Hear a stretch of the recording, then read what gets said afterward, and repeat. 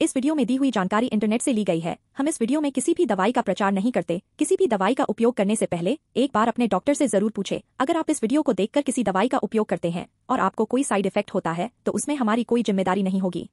S B L Boerhavia diffusa mother tincture Q एक homeopathic medicine है, जिसका use different बीमारियों जैसे asthma, high blood pressure beriberi आदि को ठीक करने के लिए किया जाता है।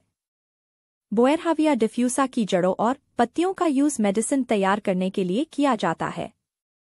यह लीवर आँखों से रिलेटेड डिफरेंट डिसऑर्डर्स से निपटने में हेल्पफुल है और पेट की सूजन को भी कम करता है। चलिए जानते हैं इसके कुछ फायदों के बारे में। एक, पेशाब करते टाइम दर्द से राहत दिलाने में इफ़ेक्टिव रूप से हेल्प करता है और पेशाब को प्रेरित करने में भी हेल्प करता है। दो लिवर के कार्यों में हेल्प करता है और डिटॉक्सिफिकेशन प्रक्रियाओं में हेल्प करता है। तीन, रक्तचाप के लेवल को रोकने करने में हेल्प करता है और हार्ट हेल्थ का सपोर्ट करता है। चार, रतौंधी में हेल्प करता है और आँखों की खुजली और लाली को कम करता है। पाँच, पीलिया और पानी वाले मल से जुड़ी कंडीशंस से निपटने में हेल्प करता है।